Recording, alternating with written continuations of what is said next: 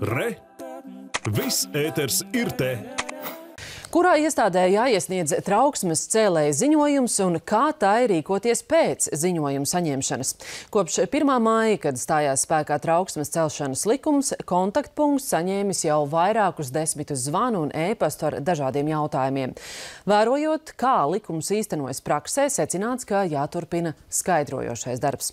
Uzņēmēji un iestāžu pārstāvi tikās reģionālajās diskusijās. Viena no tām notika Cēsīs un plašāk par to Vidzemes TV.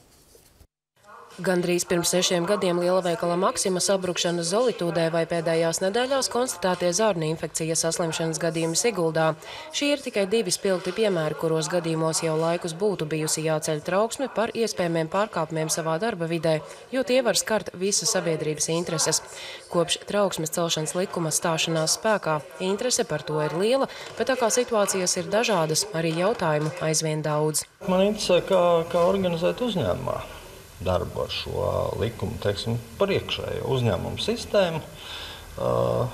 Kā mums, kāda mums dokumenti jāsagatavo, kā mums teiksim, rīcības plāns, kāds ir šajos gadījumos, ja, ja ir tādi, tādas lietas, kas ir saistītas ar, ar kaut kādām nepilnībām. Teiksim, arī kā pašvaldībai teiksim, reaģēt uz šādiem gadījumiem, jo cilvēki iespējams kaut kādās noteiktās situācijās arī vērsīsies vai vērstos arī pašvaldībā par kaut kādiem gadījumiem, nezinot, kura ir tā īsta institūcija, kurai ir šis ziņojums jānodod vai jāziņo. Nu, tad pašvaldībai jātiek būt arī skaidrībā pēc piekritības. Trauksmes cēlēju kontaktpunkta eksperti uzsver, kopš likuma stāšanās spēkā pārsvarā saņemtie ziņojumi jau bijuši saistīti ar korupcijas jomu, algu un nodokļu jautājumiem, par amatpersonu rīcību, darba drošības jautājumiem un citi.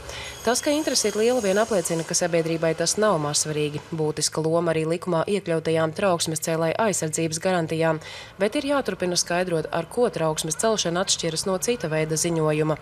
Kad darbiniekam jāziņo iekšēji darba devējam un kad jāvēršas pie atbildīgās valsts valsts iestādes un citas nianses. Trauksmes cēlējs var būt ik viens publiskajā un privātajā sektorā. Tātad kā persona, kas novēro kādu pārkāpumu saistībā ar darbu, savā darba vidē, visplašākajā šī vārda nozīmē. Tātad tas nav kaut kas, ko es novēroju kā privāta persona mājās vai draugu lokā, bet tieši savā darbā un par ko man ir profesionāla izpratne.